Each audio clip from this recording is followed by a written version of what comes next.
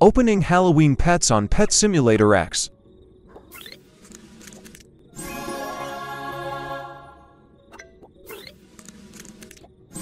It's literally impossible to get a giant pet.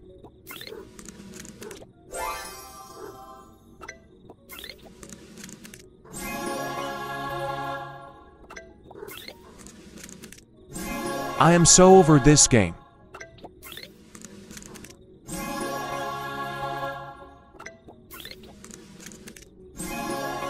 Um, really?